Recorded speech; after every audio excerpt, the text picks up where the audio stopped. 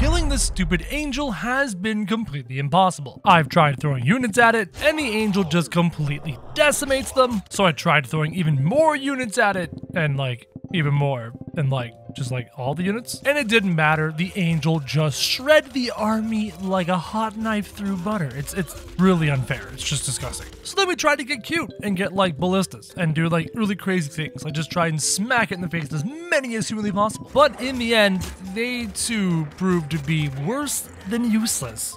Like, where are they even shooting? I have no idea. We tried using different god powers. I couldn't even affect it with gravity. Nothing. It doesn't float. It doesn't move.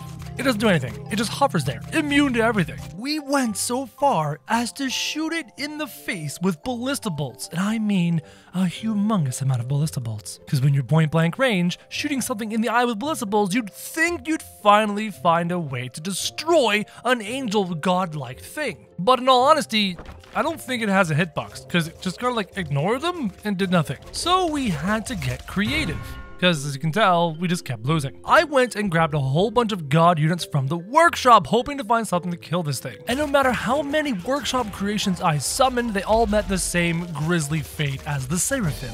This high angel of God is immortal, it's immune, nothing can seem to kill it. Even an army of Billy, the hero of tabs, did not seem to be enough to destroy the Seraphim. I mean, this is the very same Billy that's able to kill the One Punch Man Saitama himself, and all of these beams hitting the angel, nothing. Not up. Angel walks it off, shakes it off like a dog shaking off a bunch of water. The Seraphim doesn't care. And then the Billy stops shooting their beams, and then the Seraphim proceeds to just annihilate the entire army. I even summoned one One Punch Man, a single Saitama, and he well, that happens. It's, it's gross. So I summon even more Saitamas. A small army.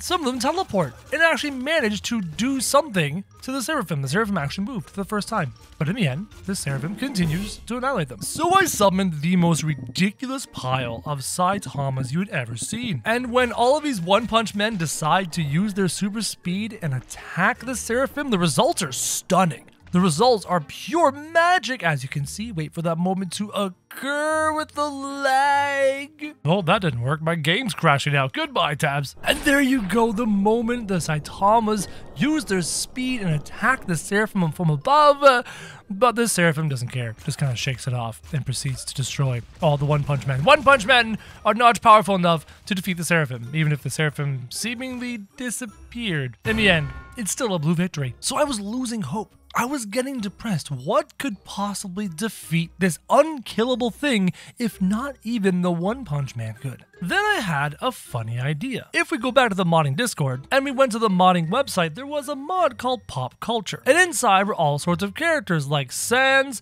Thanos, and more. This is my last hope. The final effort I have is to use Thanos and the Infinity Gauntlet to potentially snap the Seraphim out of existence. Could the Infinity Stones kill a Seraphim? It's a great question. So first things first, we need the Seraphim to have some teammates. With only one opponent, you can't really snap it. We need to snap half. So we'll summon uh, uh, a couple bards, just some bards there. Right now, there's a 50-50 chance that we're going to attempt to snap the Seraphim. So if I start the fight, the Seraphim instantly kills Thanos.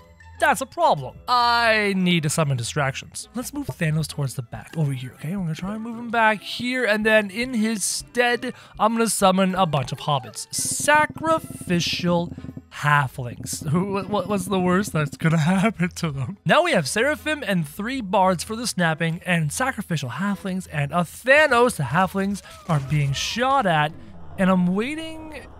Wait, hold on. There's only two halflings over there. Uh, I- I'm confused.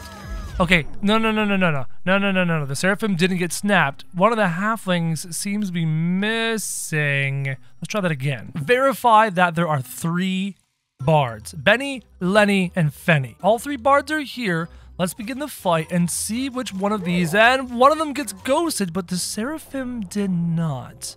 That's not 50%. Let's try it again. Here are the Benny brothers, and one gets ghosted. The Seraphim did not again. Third time's a charm. One of the Bennies gets ghosted. The Seraphim is still standing there, and it seems that we don't have.